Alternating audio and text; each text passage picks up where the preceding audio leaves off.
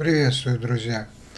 А, когда-то в юности а, я сидел задумавшись, а Саша Водорадский, мой друг, э, взял и нарисовал меня карандашиком. И потом, через много лет, я посмотрел на эту фотографию свою, так сказать, мой портрет, э, карандашом так набросанный. И взгляд был такой задумчивый. Я вспоминаю сейчас, э, какое состояние у меня было тогда. И когда я начал вспоминать, я также сел, как тогда, и стал вспоминать, и у меня тоже появилась задумчивость. Да, но если бы мне сказали сейчас, э, ты попробуй найди то состояние нуля, которое было в том состоянии эмоциональной дистанцированности, отрешенности от конкретности, а какое-то соединение с вечностью, с бесконечностью, с безвремением. Найди это состояние пустоты в голове такой вот э, вечности. Но я бы, наверное, не смог сразу найти.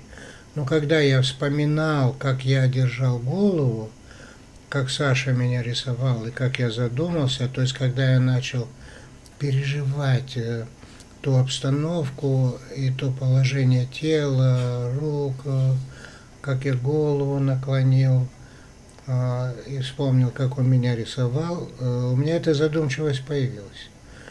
То есть я поэтому хочу вам сказать, друзья, я много раз пытался это донести, но у меня не получалось. Я сейчас вот этот пример рассказываю – Э, к тому, что если вы вспомните какой-либо счастливый случай в жизни, э, что вы в этот момент делали?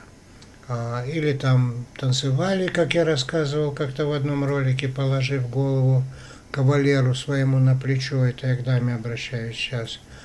Или вы играли в теннис когда-то 30 лет назад и чувствовали себя счастливым.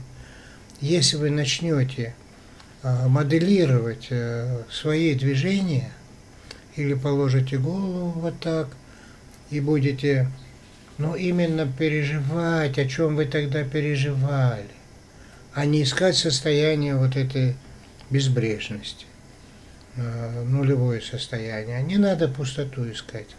Э, вы постарайтесь положение тела такое сделать, как тогда – а, и обстановку ту, а, как бы вспоминать, переживать. А состояние вот этой безмятежности, оно само появится.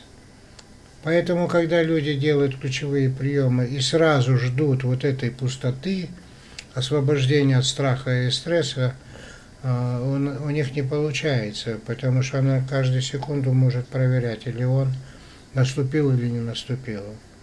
Нет, вы просто вспомните ситуацию и смоделируйте положение тела, какое у вас тогда было.